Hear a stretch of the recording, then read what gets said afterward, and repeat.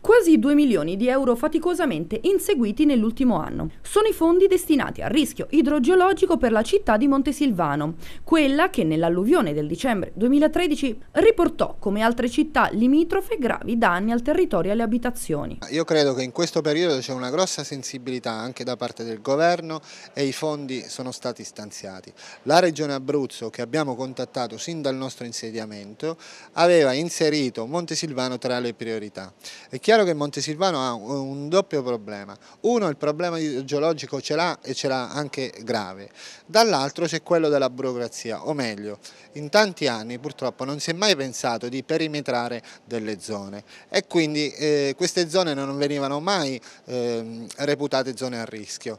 Per accedere ai fondi c'era bisogno di fare una perimetrazione. Noi oggi abbiamo fatto anche quella e contiamo che a breve possiamo ottenere dei fondi per ripristinare delle zone che sono a elevato rischio. Un difficile tira e molla oggi possibile grazie anche alla visita del numero uno della protezione civile Gabrielli che ha così sancito l'ok definitivo. Noi abbiamo la zona di Via Aspromonte che è stata oggetto proprio di una frana qualche settimana fa e che oggi vede delle famiglie che non possono manco rientrare a casa. Poi abbiamo anche il centro storico di Monte Silvano Colle che è interessato da diversi movimenti franosi. Abbiamo chiaramente la situazione di Valle Cupa che è ormai datata di 15 anni dove c'è stato anche lo spopolamento da parte di cittadini. È chiaro che tutto il territorio va tenuto in costante monitoraggio.